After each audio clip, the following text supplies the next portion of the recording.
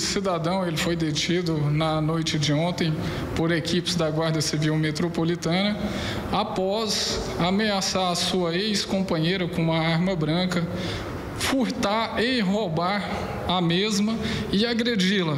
Diante dos fatos, ela estava no terminal rodoviário desesperada, procurou atendimento às nossas equipes e, juntamente com ela, as equipes deslocaram até a sua residência e, chegando ali, o mesmo ainda estava lá no local cometendo mais furtos, né, tentando furtar as joias dela.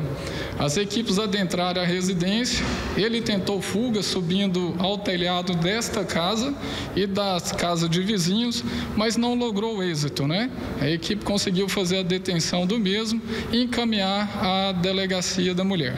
Ou seja, além de agredir e ameaçar a ex-companheira, ele estava furtando a ex-companheira.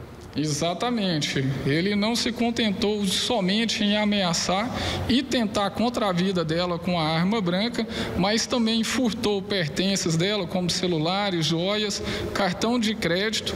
Já tinha ido ao banco, feito saques, né, como mostra as imagens aí, uma grande quantia em dinheiro, mas graças a Deus ela conseguiu o apoio da Guarda Civil e logramos êxito em fazer a detenção do mesmo. Ele já tem antecedentes, comandante?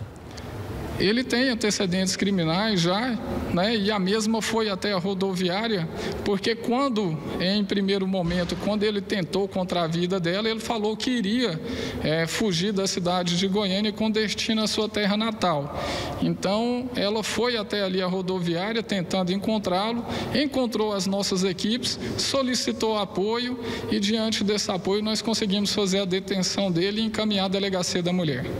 Aí, né? Nesse período de pandemia, aumentou a, o índice de ocorrências relacionados a problemas de violência doméstica, comandante?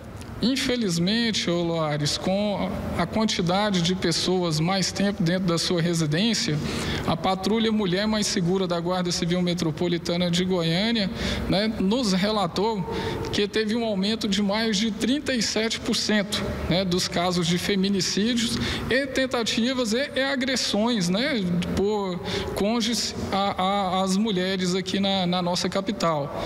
E muito disso né, se dá pela pandemia. E é algo até que nós é, utilizamos agora, um momento né, de grande audiência da TV Record, para conscientizar né, toda a população, principalmente os homens, né, que nós, enquanto seres humanos, temos que amar o próximo, amar um ao outro, principalmente as mulheres, que é aquelas que nos dão a vida, né? Nós temos que honrá-las e não agredi-las.